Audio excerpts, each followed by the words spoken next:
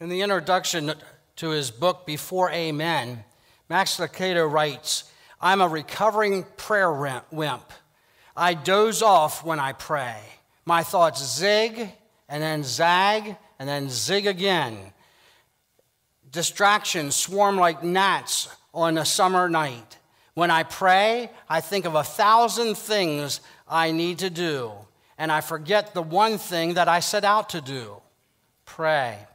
Can you relate? It's not that we don't pray at all, we all pray some.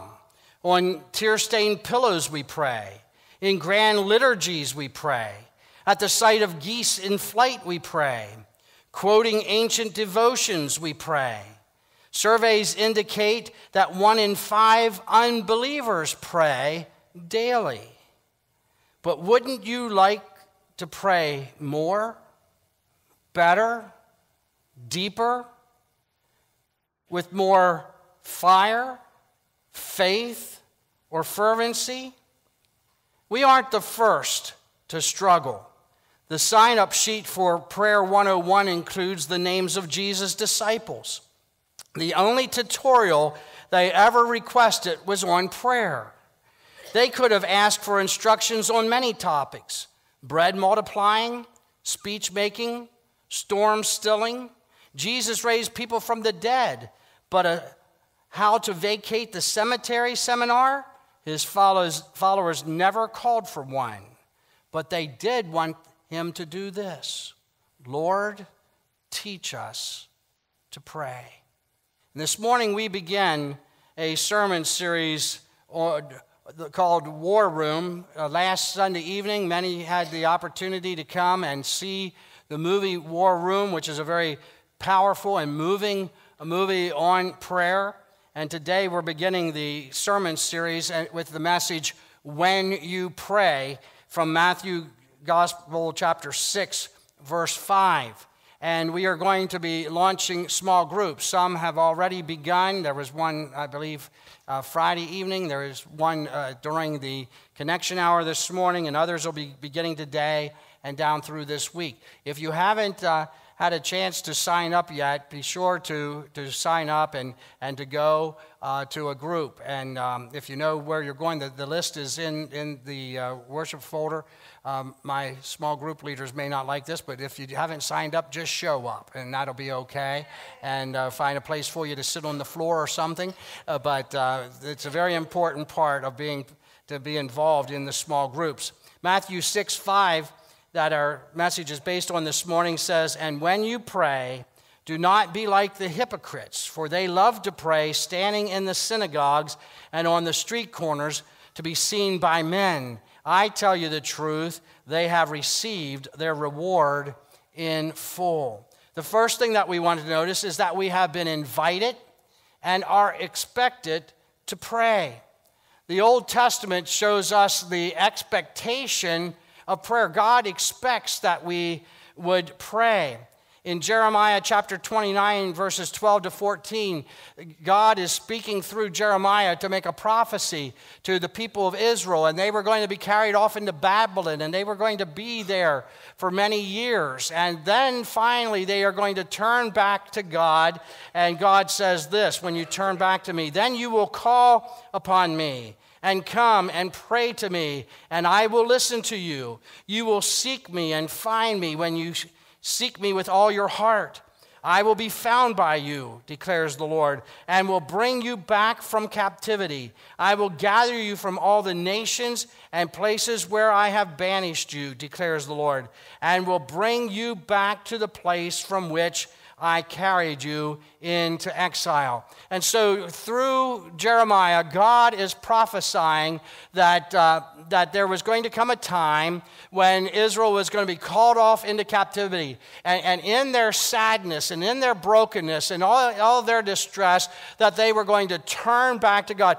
God was expecting and anticipating that the people of Israel would turn back to Him. I remember back in, in the 1980s when Ronald Reagan was president, and there was still a lot of interpretation going on about prayer in schools. The decision had been made in the 60s, but there were some questions about can you do this, can you do that, and so on. And uh, Reagan was asked about it, and, and Ronald Reagan said, as long as there are math tests, there will be prayer in school. And uh, that can go for a whole lot of other kinds of tests that uh, are in school as well. There is the expectation of prayer. Even, even as Max Lucado said there in, in that introduction of his book, even people who don't believe in Christ pray, some even daily. And then we also see the New, the New Testament invitation to approach God through Jesus. In Hebrews chapter 4, verses 14 to 16, Therefore, since we have a great high priest who has gone through the heavens, Jesus, the Son of God, let us hold firmly to the faith we profess. For we do not have a high priest who is unable to sympathize with our weaknesses, but we have one who has been tempted in every way, just as we are, and yet was without sin.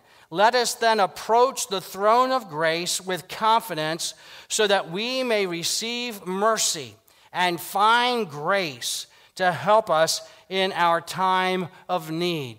Uh, through the blood of Jesus Christ and, and through the resurrection of Christ and his ascension into heaven, we have an invitation to go to the very throne room of God. We have an invitation to come. There's an expectation that we will come. What a, what a great opportunity we miss when we let other things crowd prayer out of our lives. Well, a prayer is a wonderful privilege and yet a great responsibility that we have. We have been invited and expected to, to, to pray. And then also, we have been provided reasons to pray. If you, if you are a person who tries to reason things out, why, why should I lay aside other things? Why should I take time? Why should I plan time to pray? Well, there are a number of things that Scripture tells us about this. The, the first is to bring healing to our nation. In Second Chronicles chapter 7, verses 14 to 15, if my people who are called by my name will humble our, themselves and pray and seek my face and turn from their wicked ways, then I will hear from heaven and will forgive their sin and will heal their land. Now my eyes will be open and my ears attentive to the prayers offered in this place. This was part of, of, the, of the prayer that came after the, the dedication of the temple. Solomon prayed a great prayer, and this is the response of God that he would hear the prayers of his people. And I don't think I need to spend a lot of time this morning talking about why our nation needs to be healed. But in all of the brokenness, in, in all the division, in all the strife that we have in our nation, the Word of God gives us as a reason to pray, to pray for the healing of our nation. Then we also see that we are to pray so that the Father can be glorified in His Son. In John 14, 13, it says, And I will do whatever you ask in my name, so that the Son may bring glory to the Father. We need to keep that in mind. Sometimes we take these scriptures out of context and we just read the first half and says, And I will do whatever you ask in my name. And so we kind of think, Oh, well, I think I'll pray for a new car today. And if that comes, we'll call, try for a new house next week. And, uh, you know, that, that somehow we're always supposed to be healthy and we're always supposed to be prosperous. That isn't what this scripture is saying. First of all, it says, Whatever you ask in my name. There's a, such a thing as power of attorney where you are granted the responsibility of acting on behalf of another person in their name. Perhaps they, they have dementia, or maybe there's some kind of a physical need that they have, or some reason why they cannot take care of their own business. And so you are able to write checks on their behalf in their name. But part of the laws that make that possible is also the responsibility that you are always to make those choices in the interest and favor of that person and to the best of your ability to use their funding the way they would use it, the, the, way they would desire to have it used. And so when we pray in Jesus' name, it's not somehow that we can just kind of tack on a phrase at the end of our prayer and get anything we want. When we pray in Jesus' name, we are using the authority of the name of Jesus for the work of his kingdom so that the Father, so excuse me, so that the Son may bring glory to the Father. That's the purpose of what he gives us things for. It's not for our own benefit, it's not for our own happiness, it's not for our own prosperity. But when we need something to accomplish the work of God so that the Son can glorify the Father, then, then God will provide whatever we need to do whatever it takes. And so that our joy may be filled. In John 14, 24, until now you have not asked for anything in my name. Ask and you will receive, and your joy will be complete. And, and, and we, we don't always realize this, but when God's will is accomplished, it brings us great joy. When, when we get what we want, there's one thing about anything in this material world it's never enough. If you pray for money and you get money, you'll want more money. If you pray for material things and you get more material things, you'll want more material things. There, there's no level of satisfaction that ever comes that will ever be fulfilled by just accumulating money and material things. And, and so the purpose of, of this prayer is that the Son may be, bring glory to the Father, and through that, then, we will receive joy, and our joy will be complete. It, it won't leave us thirsting, it won't leave us uh, hungering and, and desiring more. We will be filled with the joy that comes from God. And then the third thing that we notice that we have proof that prayer works. We have proof that prayer works. In, in, and we're going to just pull out a couple of the Old Testament examples here. Uh, first of all, uh, God heard his people. The, the children of Israel were slaves in Egypt, and they cried out to God uh, for deliverance, and God heard their prayer. And in, exa- in Exodus chapter 2, verses 23 to 25, it says, During that long period, the period that they were praying for a leader, the king of Egypt died. The Israelites groaned in their slavery and cried out, and their cry for help because of their slavery went up to God. God heard their groaning and he remembered his covenant with Abraham, with Isaac, and with Jacob. So God looked on the Israelites and was concerned about them. God heard the prayer of his people. What great comfort that brings to us this morning. What encouragement that should bring to our hearts and lives that God hears the prayers of his people. Why should we pray? Because God hears our prayers. God heard the prayers of Hannah. Hannah, was married and, and uh, the, her womb was closed up, that she could not give birth to a child. And, and they went to the temple and, and she went alone and she prayed and sought God. And she promised God, if you will give me a son, I will return him to you to do the work of your kingdom. And in 1 Samuel chapter 1, verses 19 and 20, the, the day after that prayer, Early the next morning, they arose and worshiped before the Lord and then went back to their home at Ramah. Elkanah lay with Hannah his wife, and the Lord remembered her. So, in the course of time, Hannah conceived and gave birth to a son. She named him Samuel, saying, Because I asked the Lord for him. Here was a specific prayer that God heard and that God answered. And then God heard the prayers of Elijah. Elijah was, was a great prophet, and, and he would travel through the land, and, and it was a, time that, uh, that there was famine in the land and, and, drought because God had caused it to, to stop raining. And, and there was a, a widow who heard, uh, who heard of Elijah, and when he would come through town, she had a special place in her home where Elijah could stay. And this woman had a, a, a boy, and um, he died. And Elijah came, and the woman said, Why is God mocking me? I've done everything that I can to, to, to help you and to serve you, and now my son has died. And Elijah went up to that little boy's room and prayed for him. And in 1 Kings chapter 17, verse 22, it says, The Lord heard Elijah's cry, and the boy's life returned to him, and he lived.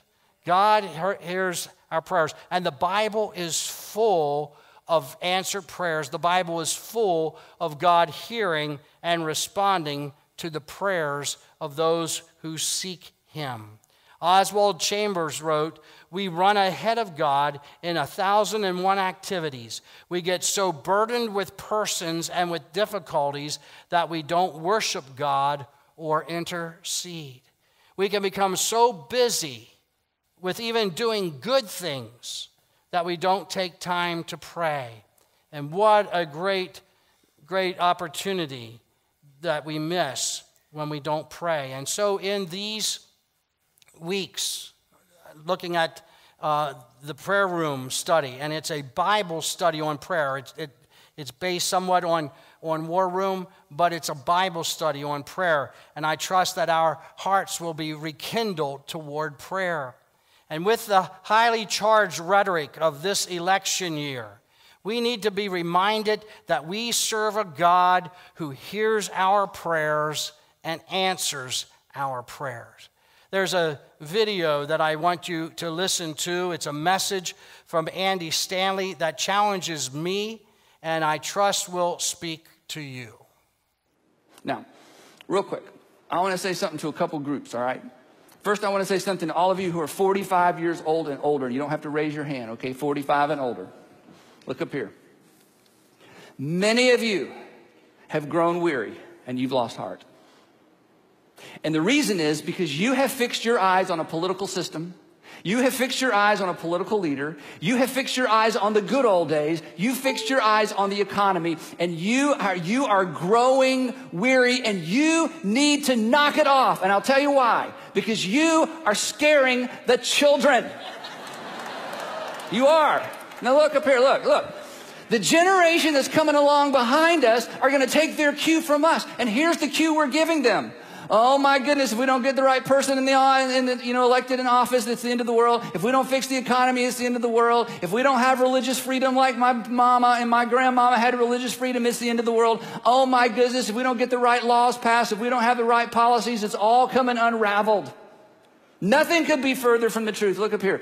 Government and government matters, policies matter, but neither of those matter as much as men and women who understand this word. Faith confidence that God keeps his promises and that nothing can thwart the plans of God. We know this from the Old Testament. We know this from the New Testament. We know this because the most powerful person in Judea, Pilate, looked at Jesus and said, what is truth? Crucify him. Game over. It's done. Let's move on. And the only reason you know who Pilate is the only reason you know who Pilate is, is because you know the story of Jesus. Pilate, the governor, becomes a footnote in the story of Jesus. In fact, most of the first century people you know about, you know about because they're part of the story of Jesus. We have nothing to fear. So all of you people over 45, knock it off. You need to model for the next generation that God is in control. God can be trusted. Get involved in the political system. Get involved in culture. Get involved in your society. But you never fix your eyes there. You fix your eyes on Jesus. I don't know about you, but that's a reminder that I need. My friends, God was on the throne when Adam and Eve sinned. God was on the throne when Noah built the ark.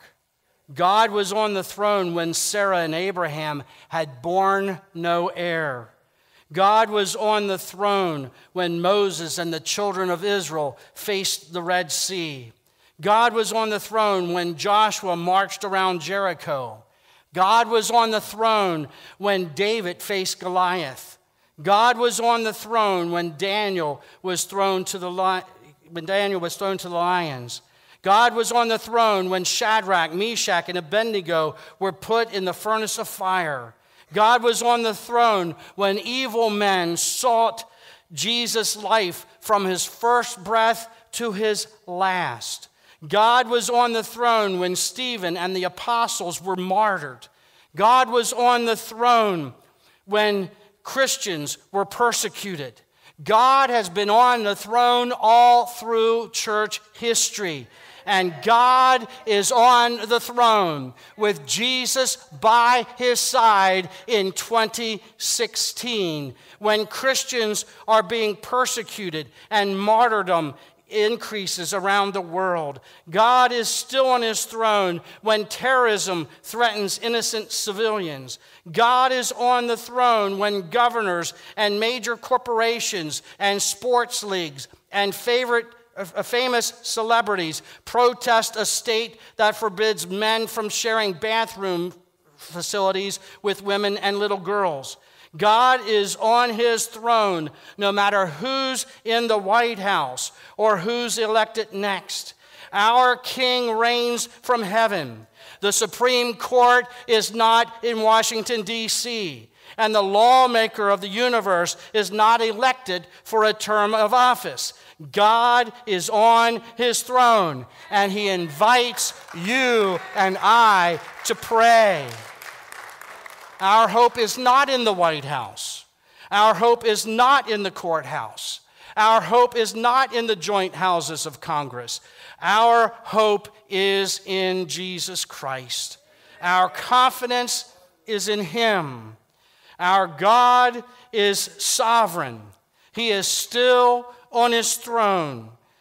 Jesus, King of kings and Lord of Lords has everything under his control. We must not live under worry. We must not be motivated by fear. We must pray. And I trust that through these coming weeks, in our small groups and in our services, that we will be motivated as never before to be praying people. To pray in our closets, to pray in small groups, to pray together for the worship services. That, that when we come together, it will not just be routine, but that God will be at work. The best posture in these troubled times is the posture of repentance and prayer. And if you're here this morning and you've never asked Jesus to be your Savior, and you have never begun to follow Him, I want to tell you this morning the very first prayer that you can pray if you've never prayed before is Jesus, save me. I, I turn from my sin, I seek your forgiveness, and I choose to follow you. In my closing prayer this morning, I'm going to include that prayer. And if you have not yet asked Jesus to be your Savior, I would encourage you to do that this morning. Shall we stand together as we go to the Lord in prayer? Our dear Heavenly Father, we thank you this morning for your great grace. Sometimes, as individual human beings and even as Christians, we feel hopeless and helpless against the onslaught of the enemy and what is happening in our world. But Lord, there is hope in you, there is help in you. You have all power, and all glory belongs to you. And Lord, I pray that you would forgive us for prayerlessness, that you would motivate us to pray more. You've invited us to pray. You expect us to pray. You have given us great needs to pray for. Help us, Lord, to be a praying people. And may the ministry of this church and may the impact in this community be greater because of prayer. May we see in our own nation and in our land a, a, revival, a spiritual awakening that will take place because of prayer. May this world change. May many people come to know you as Savior because we pray. And Lord, this morning I pray that there are people even in this room now who have never asked you to forgive their sin, to be their Savior. They've never chosen to follow you. I pray that they would join me in their hearts in this prayer. Dear Jesus, I know I'm a sinner. Like all human beings, I was born in sin. I was born separated from you because of sin. I've committed acts of sin. But Lord, I humble myself before you. I confess that I'm a sinner. I repent of my sins. I turn away from my sins. I turn to you And I choose this day to be a follower of Jesus Christ. Forgive my sins and help me to live for you. Lord, I pray that you would answer that prayer in the hearts of those who have prayed it today. And Lord, may we not depend upon the news media or the educational system or the voices of our world to tell us who's in control. Lord, may we look to you. May we look to your word. May we fall on our knees and may we find power in prayer. You are in control. We give you glory today. In Jesus' precious name we pray. Amen.